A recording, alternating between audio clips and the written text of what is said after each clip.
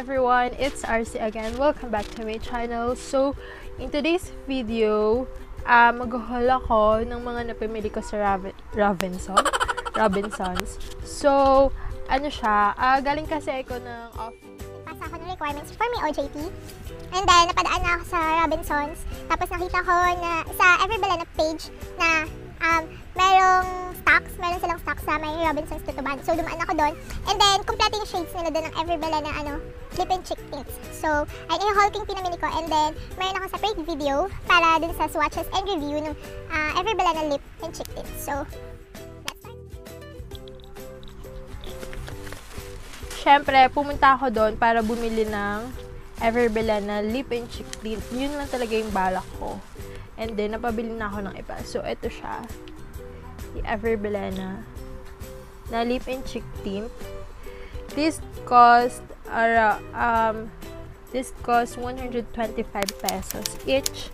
Tapos, meron silang tatlong shades. Tapos, yung isang shade na medyo light, um, hindi nakalimutan ko na yung name, nakalimutan ko yung name, basta may red something yon Yung binili ko is yung Uptown Red, tsaka yung Nightberry. Kasi, di, di ako sure kung ito ba yung ano, kasi ayoko nung light, kasi nanood na ako ng ibang review, and hindi ko nagustuhan yung light na shade kasi kung bibilin ko man yon syempre di ko siya magagamit. So, sayang lang yung 125, diba? So, hindi ko na siya binili kasi di ko naman talaga yung magagamit. So, eto, di ko sure kung tama ba yung nabili ko. Pero, ti- kasi wala siyang ano eh, wala siyang tester. So, tiningnan ko lang dito sa ilalim kung sino yung mas malight na color, yun yung iniwan ko. Tapos yung dalawa, kinuha ko. So, next is itong Everbella na, ano, eyeliner. Waterproof daw. Sabi. Char. So, ito is 125 pesos din. So, bumili ako ng eyeliner kasi yun nga, kailangan ko nito kasi nga mag-OJT na ako this next week. Mag-start na ako sa Monday. So, eh wala akong ano, waterproof. Ay, meron akong eyeliner pero yung sa Avon, sabi waterproof, smudge proof, pero hindi siya totoo, bes. Kumakalat. So, tingnan natin kung maganda ba to. Pero hindi na ako nakita sa Careline. And, kasi mas mas mura to kaya ito kinuha ko. So, ayan siya. Eyeliner to. Parang pang ano. Oh. So, ayan siya. Ay.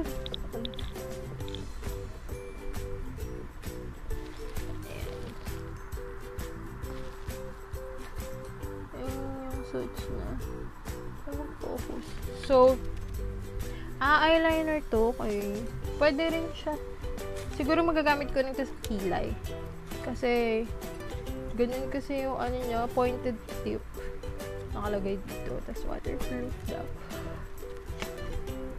Hindi ko alam kung meron pa siyang ibang shade. So, ito lang kasi yung nakita ko. Aray. Hindi ko alam kung may iba siyang shade, pero ito lang kasi yung nakita ko. Ito ata yung shade niya. Ebony. Hindi ko alam kung tama.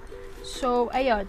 Next is this tickled pink na bench. Ano to? Dio Body Spray. Kasi nga, naubos na yung ano ko, yung pabango ko. So, yung red yun eh. Alam ko, red yung lalagyan. Hindi ko alam. Nakalimutan ko yung pangalan. Alam ko hindi so in love. Basta red siya. Tapos red yung ganito niya. Tapos ano yun, mabango kasi yun.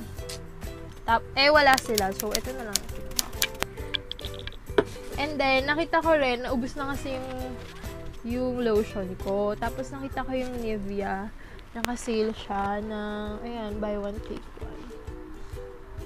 Buy one, get one.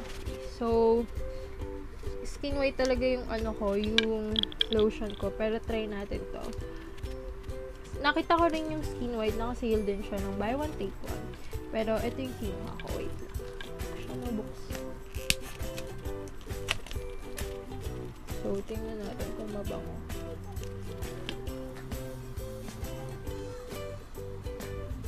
Mabango naman siya, in fairness. Amoy safeguard. Hindi ko alam ba't ganun. so, 125 ml. Dalawa na siya. Um, around, magkano to? 125 din ata. Basta 100 plus lang. So, may dalawa ka na, diba?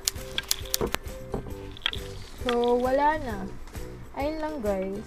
Ito lang yung mga napamili ko. So,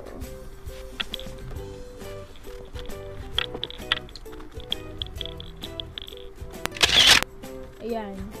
'Di ba? Naman talaga tayo eh. Yung yung dalawa lang talaga or isang item lang yung bibilihin natin. Kaya tayo pumunta doon. Pero, ang padami, di ba? and guys. Ito yung pinaka first haul video ko. So, if you guys like this video, please give it a thumbs up and subscribe on my channel. Yan. Click the bell button to get notified when I upload a new one. So, yun lang guys. Thank you so much for watching. Bye-bye! My, my, my.